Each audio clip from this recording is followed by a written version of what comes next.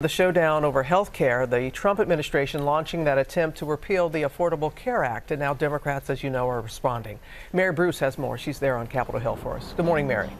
Good morning, Robin. Well, there is a new battle brewing here over health care. This move by the Trump administration to strike down the entire Affordable Care Act could leave millions of Americans without coverage, including those with pre existing conditions. But the president seems to be welcoming this fight ahead of the 2020 election. Yesterday, telling me that the Republican Party will become known as the party of health care. But when I pressed him on what his plan is to replace Obamacare, well, he didn't respond. And that is part of the reason why Democrats here feel like this is such a political gift. They are quick to point out that Republicans right now do not have a new replacement plan, Robin. Yeah, nothing to replace it.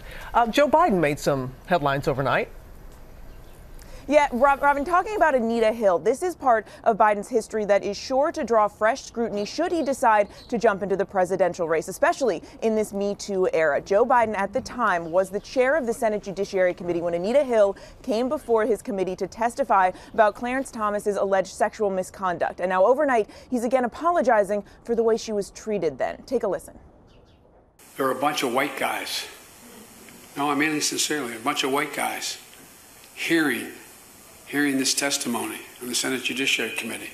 So when Anita Hill, when Anita Hill came to testify, she faced a committee that didn't fully understand what the hell it was all about. To this day, I regret I couldn't come up with a way to get her the kind of hearing she deserved.